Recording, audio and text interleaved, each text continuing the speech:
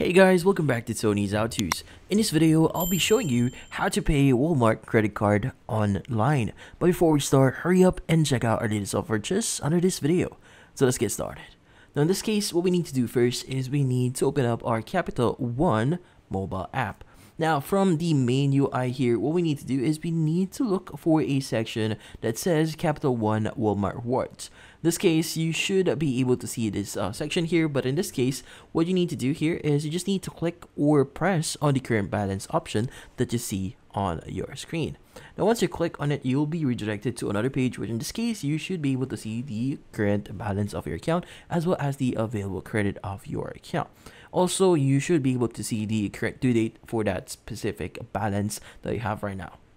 Now, if you want to make payments or basically just pay for it, just click on the make a payment option or button that you see on your screen.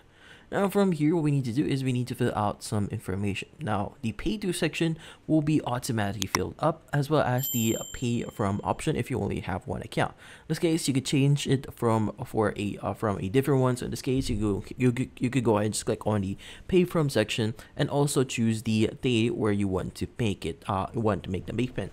Now in this case, uh, once you fill out all those details, just click on the slide to play or basically swipe right, slide to pay, and you should be able to see the next window, which in this case, you should be able to see the different ways for you to actually pay. In this case, you have the uh, statement balance here, which is the total here. You also have the current balance, the last posted payment, and minimum payment. In this case, go ahead and choose whatever option you want. Now from here, you should be able to see the payment schedule option, which in this case, you should be able to make your payment on the date that you've actually scheduled for. In this case, if you want to cancel it, just click on cancel payment. But in this case, that's about it. So if you found this video helpful, hit the like and subscribe button and watch our next video.